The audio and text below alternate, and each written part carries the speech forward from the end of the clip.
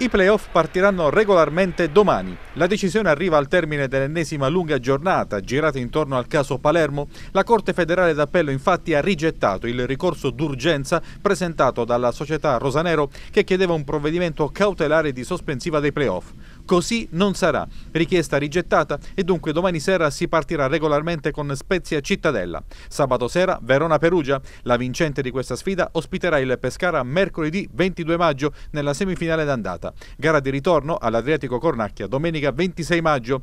Resta fissata a giovedì 23 maggio l'udienza, questa volta di merito, di fronte ai giudici della Corte federale d'appello, chiamata a decidere sul ricorso presentato sempre dal Palermo contro la sentenza del Tribunale Federale Nazionale che ha retrocesso all'ultimo posto la squadra rosanero. Un provvedimento immediatamente esecutivo e sulla scorta del quale il Consiglio direttivo della Lega DB aveva optato per il mancato slittamento dei playoff per giocare nelle date già comunicate.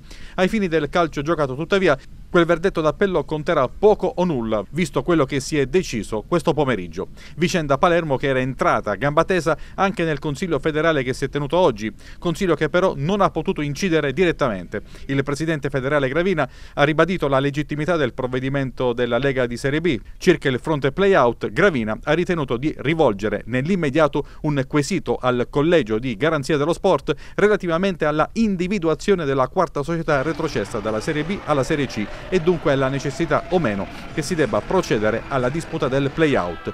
Di tale parere sarà data comunicazione tempestiva alla Lega di Serie B per gli eventuali adempimenti di competenza. Intanto il Pescara continua a lavorare immergendosi nel clima tranquillo del Poggio.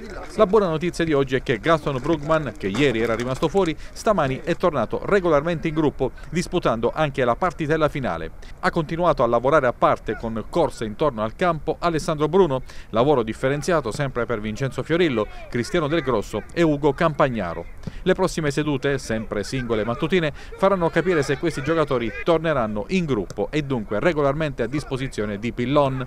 Tornando al Consiglio federale odierno, sono state anche ufficializzate le date del prossimo calciomercato che torna nel formato dei due mesi della sessione estiva, aperta dal 1 luglio al 2 settembre, sessione invernale dal 2 al 31 gennaio.